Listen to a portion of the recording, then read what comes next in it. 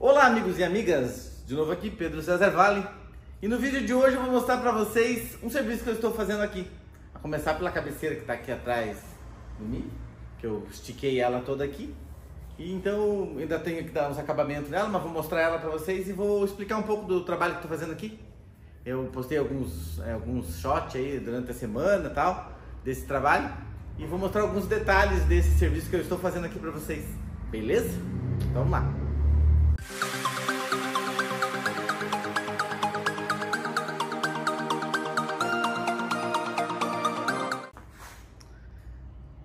Então, pessoal, começando aqui pela essa cabeceira, ela é uma cabeceira que tem aqui, só aqui nessa parte ela tá com 2,90m.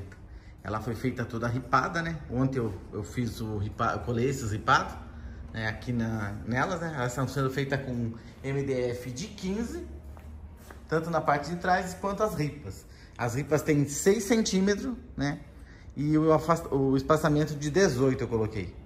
O que gerou aqui, nesse caso aqui, 37 ripas, tá? Aí você usa matemática para fazer a divisão, né? E no caso, é, somando 6 com, com o 18, mas o 18 aqui eu considerei ele 20 milímetros, né? Para poder fazer a divisão desse painel aqui. Ali em cima tá a moldura que vai aqui na parte de cima, para não dar para não ter que colar fita nesse topo aqui, que vai um LED ainda tal. Então vai, vou fazer aqui a moldura dela, né? Quero terminar aqui agora essa parte da moldura, que vai em cima aqui. Aí do lado de cá, assim, nessa, nessa cabeceira, vai um, um nicho aqui, que é o que tá ali, ó. Deixa eu mostrar pra vocês aqui. Esse nicho que tá aqui, ó. Ele vai aqui. E com esse... Com essa mesinha de cabeceira embaixo. Essa mesinha de cabeceira aqui, eu fiz um, um agrado pro cliente aqui, que é um compartimento secreto. Vocês não sabem quem é o cliente, não tem problema mostrar, né? Então, uma gavetinha secreta aqui. Vai ter esse, esse, esse, essa mesa de cabeceira. Esse nicho ele tá ao contrário aqui, porque eu fiz pra, coloquei aqui para dar a medida, né? E esse armário que tá aqui embaixo, ele vai em cima de tudo aqui. Juntando com o guarda-roupa que tá espalhado por aqui. Eu talvez eu monte esse trabalho. Aí, mas daí se eu, vou montar, se for montar, vai ser semana que vem. Dentro do nicho vai aquele painelzinho ali também. É, vai ser semana que vem. Daí talvez eu faça um vídeo mostrando mais detalhes para vocês dele montado. Então hoje, hoje eu quero mostrar mais essa parte aqui da cabeceira, essa moldura e tudo mais. O serviço que eu faço aqui, eu normalmente não monto o móvel aqui na marcenaria. Mas talvez dessa vez eu monte, porque eu tô com tempo aí, que o cliente era para entregar semana que vem, mas o cliente vai deixar, quer que eu deixe para outra semana. Então eu vou ter tempo, talvez eu monte ele aqui, para já poder levar tudo furado, fundo, né? Porque o fundo tá cortado aqui e tal mas não tá com a furação, não tá nada, nada certo, né? Ali atrás também tem, estão as portas de correr, com puxador cava e tal. Eu acho que vou acabar montando e mostrar para vocês em um próximo vídeo isso aí também. Então, daí eu mostro com mais detalhes, né? Faço até mais vídeos a respeito. E pode já deixar nesse vídeo aqui, se você tiver alguma dúvida a respeito, quiser que eu mostre desse móvel, eu já posso fazer isso também. Beleza? Então vamos fazer, vou cortar essa cabeceira agora, porque a, a, como eu falei, ela está maior, eu faço ela maior aqui no, na altura, né? E também no comprimento também ela fiz ela maior. O tamanho que eu, que eu tenho, a medida dela que era para ser, é 2,89. 2,89.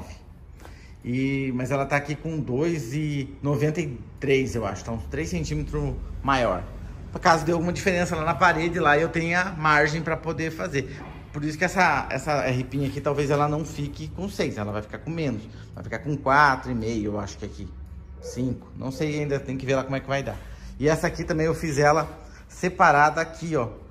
Eu fiz todas elas, todas elas iguais. São cinco, cinco placas, né, que foram feitas de 50 e... 55, se não me engano lá. É a placa aqui de baixo. Mas aqui, como tá passando aqui, ela tem um pouco mais. É quase 60 centímetros cada placa dessa aqui. E elas estão é, para fazer a entrada aqui, né? Só que eu faço elas numerada. Um, dois, três, quatro, cinco. Porque elas estão sendo feitas para ser aqui. Não tem... Uh, teoricamente daria para mudar a 3 para lugar da 2, mas eu não gosto de fazer isso. Eu gosto de fazer assim na, na, na, medida, já marcando cada um no seu lugar, porque se tiver alguma variação não fica errado. Né? Como ela foi feita a montagem delas assim, então não tem perigo de, tá, de dar erro. Agora eu vou lá e vou aparelhar. cortar elas aqui, é, esse topo todo aqui, que é a parte de cima, para daí vir a moldura aqui. Assim que tiver mais, mais ou menos pronto aqui, eu mostro um pouco mais para vocês e explico um pouco mais. Então aqui eu já fiz a moldura, já coloquei aqui, já está tudo cortado o painel. Aliás, deixa eu falar para vocês uma coisa. Eu colei com, na coladeira ali com cola branca.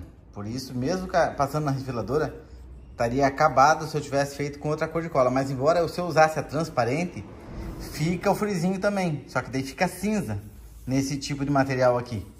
Então eu resolvi fazer na branca mesmo. E agora eu tenho que passar um taquinho de couro. Tá até lá minha lixadeirinha orbital. Ali. Que é com ela que eu vou passar aqui para fazer o acabamento nesse aqui.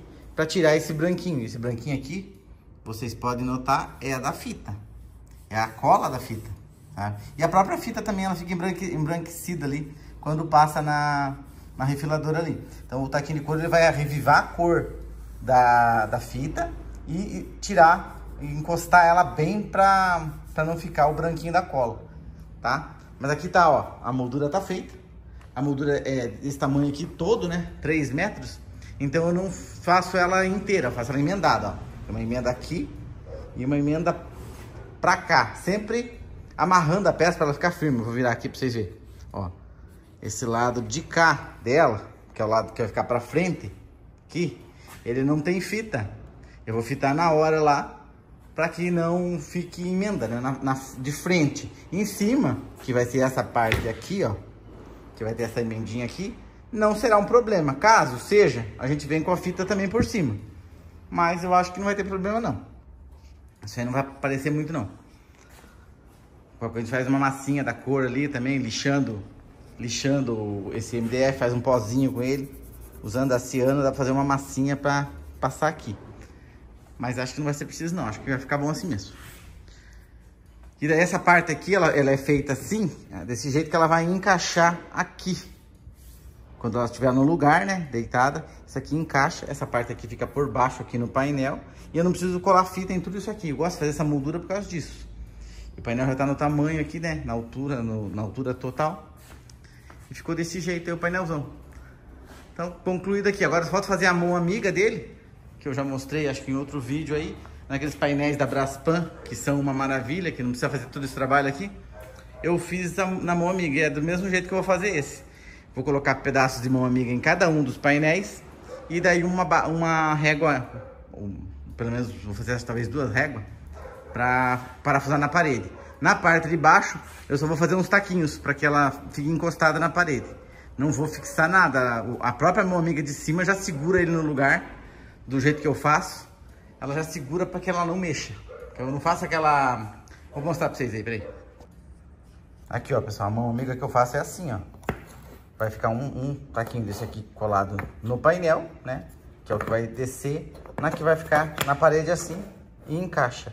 É de 18, ó já fica no jeito o afastamento também para poder funcionar bem. E ali em cima vai um LED, esqueci de mostrar. Essa parte aqui que é rebaixada aqui, ó. Que ela vai, ela vai ficar nesta posição assim, né? E aqui tem um rebaixo, ó. Também tem que passar o taquinho aqui para pra ficar da cor. E vai o LED aqui. O LED eu vou querer fazer aquele LED inteiro, que não tem emenda. Mas aqui eu não faço um, um, um difusor, sabe? Não coloco dentro de uma canaleta, porque daí eu acho que fica complicado também, né? Então, sempre, sempre eu fiz assim, eu coloco o LED mais no canto aqui possível, de, de repente até nessa face aqui, para o brilho bater na parede e refletir. E facilita a limpeza também aqui, daí eu, eu acho, né? Eu, eu fiz assim, os meus ali de casa eu fiz assim. Eu gosto bastante, não, não gosto da ideia de colocar um difusor aqui. Porque daí eu acho que aparece muito. Até tem um aqui, vou mostrar pra vocês um preto que eu tenho aqui. Mas mesmo que ele fosse de outra cor, ou mesmo que eu fizesse a canaleta só pro difusor, ó, se eu fizesse a canaleta só pro difusor, talvez fosse uma boa ideia, mas daí esse difusorzinho aqui é bem ruinzinho, bem fraquinho, e na canaleta eu acho que daí não teria condições de pôr, porque eu acho que fica feio. Vai parecer demais ela, né?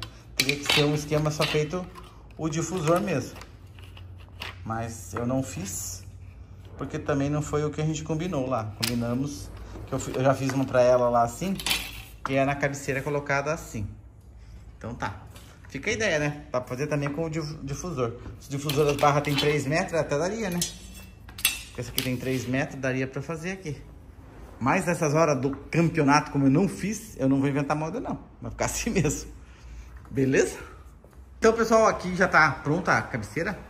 Painel cabeceira, né? A moldura tá aqui. Já coloquei a, a mão a mão amiga na parte de baixo aqui, tudinho. E sobre esse tipo de, de painel, eu já tenho outros vídeos aqui mostrando como é que foram feitos. Então, é isso aí. Se tem alguma dúvida, deixa aí nos comentários que a gente tenta resolver, beleza? Mas o painel tá todo acabado. O acabamento aqui foi feito com o taquinho de couro, né? Com a máquina também lá. Passando o couro para acabar o branquinho que tinha da, da fita. Então é isso aí. Próxima, na próxima oportunidade eu mostro mais alguma coisa aí. Beleza? Então é isso aí. Então, pessoal, esse aí foi o vídeo. Espero que vocês tenham gostado do vídeo. É, eu quero convidar vocês também para participar do meu canal, que eu tenho um canal lá no Instagram e no WhatsApp. Vou botar aí na, na descrição do vídeo, as primeiras coisas na descrição do vídeo, vai ser o link do meu canal no, no Instagram e no canal do WhatsApp, tá? Nesses canais eu tô colocando oferta, tá? Que eu sou filiado do Mercado Livre e tenho vários cupons de desconto, tem várias coisas que eu compro, até que é para marcenaria mesmo. Então eu tô aproveitando lá para colocar oferta de várias coisas, principalmente máquina, ferramenta, o que eu, o que eu encontrar lá, eu estou colocando lá nesses grupos. Então eu quero convidar vocês a participar. Não paga nada, obviamente. E vai ter acesso ao, aos descontos que eu vou conseguir ao longo do tempo aí. Vou conseguindo alguns descontos aí, vou, post, vou postando os produtos lá com desconto. Ou com uma boa. um bom preço, né? Que eu fico pesquisando lá. Toda hora tô comprando alguma coisa no Mercado Livre, né? Então daí eu coloco lá. Se você tiver interesse, segue lá, que vai ser legal. Beleza? Então esse foi o vídeo, espero que vocês tenham gostado. Gostando, deixa aí o seu joinha, se inscreve aqui no canal se ainda não for inscrito. Se tiver alguma dúvida aí, deixa nos comentários. É, a respeito desse painel aqui, mais detalhes eu também tenho um outro vídeo aqui que eu já coloquei a respeito de painel, onde eu fiz um painel da Braspan e eu mostrei como é que foi feito e foi exatamente do mesmo jeito. Então, valeu, obrigado a todos e até o próximo vídeo. Valeu!